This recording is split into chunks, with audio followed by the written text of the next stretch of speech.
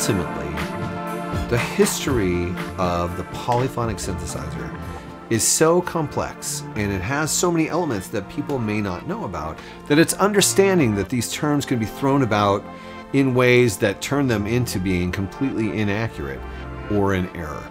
And part of the reason I wanted to make this series was to address the actual history of the polyphonic synthesizer so that we can see how it developed and why we named things the, the way we did in order to distinguish them and categorize them, and how companies have often used categorization as a marketing tool as opposed to an accurate means of describing what is happening.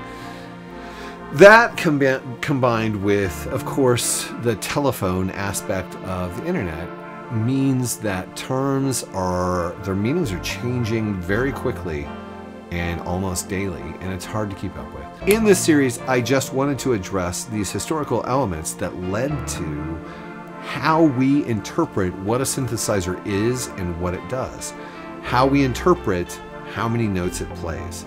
It's a really interesting, or it's interesting to me. If you're still watching, it must have been interesting to you.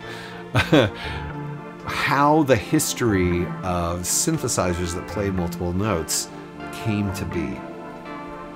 It's a very, very fascinating thing. And hopefully, I hope that what I've described makes sense in such a way that you can at least come to a point where you can separate paraphonic and polyphonic and uh, describe them separately as separate things and overlapping occasionally things as well. I hope that this has been a good means of portraying to you the history of the polyphonic synthesizer and how that history has affected the terminology that we use today, and hopefully to help solidify these definitions so that they're not lost in the wash of constant mildly inaccurate use, inaccurate use, or completely horrifyingly wrong use.